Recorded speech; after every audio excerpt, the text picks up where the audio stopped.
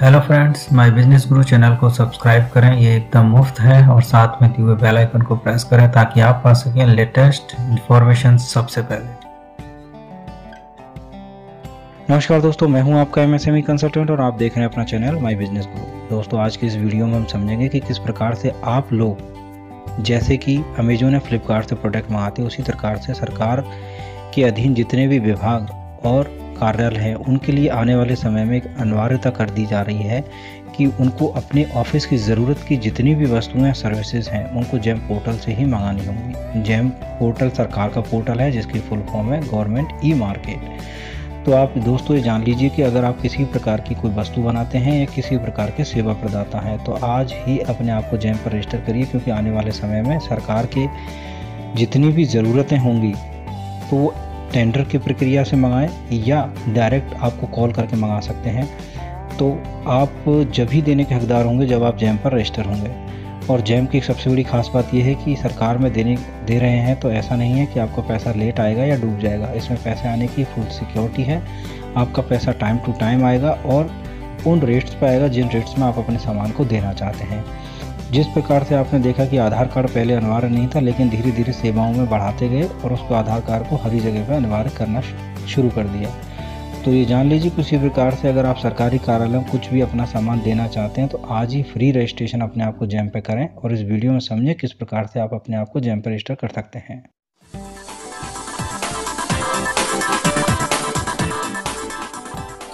आज इंडिया में करोड़ों पब्लिक सर्वेंट्स लाखों दफ्तर और इन दफ्तरों की हज़ारों जरूरतें। पेन और पेपर से लेकर ट्रांसपोर्टेशन तक की जरूरतें। पर ज़रूरत को पूरा करने का सिस्टम क्या? वही सालों पुरानी प्रोक्योरमेंट की प्रोसेस और वही कागज़ी कार्यवाही। क्यों ना प्रोक्योरमेंट के इस आउटडेटेड प्रोसेस को ही बदल दिया जाए? क्यों ना रिस्ट्रिक्टेड मार्केट प्लेस बने ओपन टू ऑल क्यों ना प्रोक्योरमेंट को टेक्नोलॉजी की मदद से बनाया जाए स्पीडी एंड ट्रांसपेरेंट जिससे सरकार को मिले राइट प्रोडक्ट राइट प्राइस पर राइट टाइम पर राइट सोर्स से राइट क्वालिटी में भी और राइट क्वांटिटी में भी। इन सवालों के जवाब सिर्फ़ चार महीने में डिपार्टमेंट ऑफ़ कॉमर्स ने ministry of electronics and IT की तकनीकी सहायता के साथ तैयार किया भारत का पहला ई मार्केट प्लेस जिसका 9 अगस्त 2016 को हुआ शुभारंभ। Gem government e market place तो आइए समझते हैं जेम में रजिस्ट्रेशन किस प्रकार से कर सकते हैं। पहले तो आप जिस प्रकार का भी ब्राउज़र आप यूज़ करते हैं, उस ब्राउज़र में जाएँगे, उसमें ब्राउज़र में जाके gem dot G O V dot in आप डालेंगे वेबसाइट है ये इनकी। उसके डालने के बाद आप देखेंगे कि आपके सामने एक इंटरफेस खुल के आता है। इस इंटरफेस में आप देखेंगे कि किस प्रकार से आप लॉगिन कर सकते हैं। इस लॉगिन में अगर राइट हैंड पर आप देखते हैं तो लॉगिन अगर आप पहले से रजिस्टर हैं अदरवाइज़ आप लॉगअप का उपयोग करेंगे। इसमें वायर और सेलर क्योंकि आप हैं सेलर क्योंकि आप वस्तु के निर्माता हैं तो आप सेलर का चयन करेंगे और सेलर में जाके अपना रजिस्ट्रेशन करेंगे। ये रजिस्ट्रेशन प्रक्रिया बहुत ही सरल है।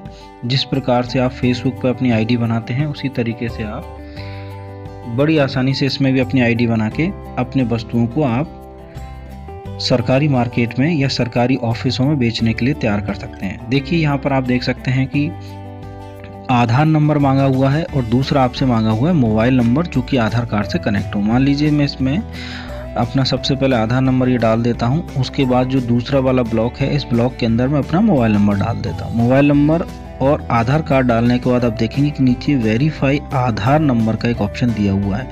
यहाँ जाके मैं अपने आधार कार्ड को वेरीफाई करूँगा।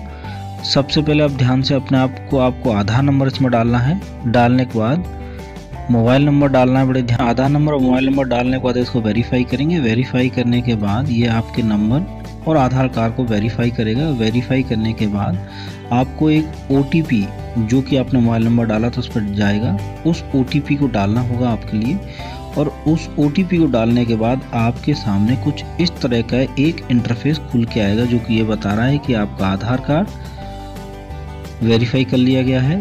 ये डिटेल्स आती हैं, कुछ डिटेल्स में आप सबसे पहले अपने आप को वेरीफाई करना है मेल आईडी के थ्रू क्योंकि फ़ोन से तो आप कर ही चुके हैं। अब उसमें आप मेल आईडी डालेंगे। मेल आईडी में दूसरा जो वेरिफिकेशन के दूसरा चरण जिसमें मेल आईडी को शामिल किया गया है, क्योंकि हम मोबाइल से तो अपने आप को एक बार कंफर्म कर चुके हैं, लेकिन पुनः हम मेल आईडी डालकर अपने आप को कंफर्म करेंगे। जैसे ही आप इस पर कोई मेल डालते हैं मेल आईडी डालने के बाद आप देखेंगे कि आपको एक ओटीपी प्राप्त होगा। वो ओटीपी हमें इसमें एंटर करना होगा। एंटर करने के बाद हम उसे वेरीफाई करेंगे। ध्यान रखें दोस्तों, ये मेल आईडी आपके लिए काफ़ी काम की होगी क्योंकि आगे चलकर आप किसी प्रकार के चेंजेस करना चाहेंगे प्रोफ़ाइल में या किसी प्रकार की प्रोडक्ट की डिटेल डालना चाहेंगे तो यही मेल आईडी आपको काम करने वाली है। ध्यान से आप इसमें मेल आईडी डाल दीजिए, उसके बाद एक ओटीपी प्राप्त होगा। ओटीपी को आप इसमें डालिए और ओटीपी को डालने के बाद इसको वेरीफाई कर लीजिए। मान लीजिए मुझे प्राप्त ओटीपी ये है, जिसको मैं इसमें इंसर्ट कर रहा हूँ, उसके बाद मैं इसे वेरीफाई करूँगा।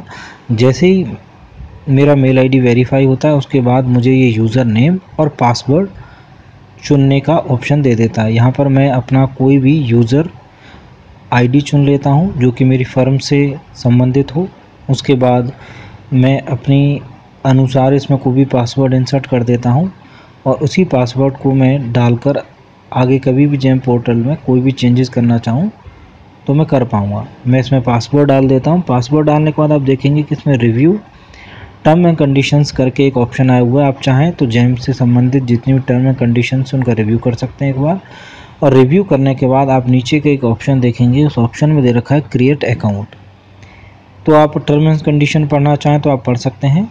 और उसके बाद आप नीचे जो क्रिएट अकाउंट का ऑप्शन है, इससे पहले आपको कुछ कंडीशंस हैं, उनको एक्सेप्ट करके डालना पड़ेगा कि हाँ आप उनको एक्सेप्ट करते हैं जो term and conditions PDF format में दी होंगी आपके लिए। जैसे आप इसको एक्सेप्ट करते हैं तो क्रिएट अकाउंट कर पाते हैं। क्रिएट अकाउंट करने के बाद आप देखेंगे कि आपको पुनः ये होम पेज पर पहुँचा देता है, क्योंकि आपका अकाउंट बन चुका है। अब समय है कि दोबारा से जो आपने इसमें लॉगिन करना है, जो आपने यूज़र आईडी चुने थे उनके द्वारा। इसमें हम अपना लॉगिन आईडी डालते हैं और पासवर्ड डालते हैं, जो कि हमने पासवर्ड चुना है। उसके बाद कपेक्स बॉक्स में कुछ संख्या दी हुई है, इसको ध्यान से लेकर इसको भी हम डाल देते हैं। उसके डालने के बाद हम देखेंगे कि इसको सबमिट करते हैं। सबमिट करने के बाद एक पोर्टल आपके सामने खुल के आ जाता है। इस पोर्टल के खुलने के बाद हम देखते हैं कि हमारे पास काफ़ी सारे ऑप्शंस हैं। इनको ध्यान से देखिए। लेफ़्ट हैंड की तरफ़ कुछ ऑप्शंस देख रखे हैं।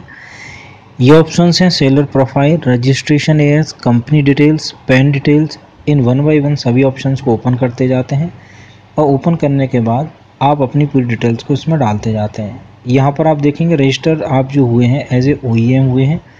ओ का मतलब होता है ओरिजिनल इक्विपमेंट फैक्चर्स अगर आप किसी प्रकार के ओरिजिनल इक्विपमेंट मैन्युफैक्चरर्स हैं तो आप ओ का सेलेक्ट करते हैं। सेलेक्ट करने के बाद लेफ़्ट हैंड पर जितनी सारी डिटेल दी हुई हैं, इनको वन बाई वन कंपनी की डिटेल्स को भरना शुरू करते हैं।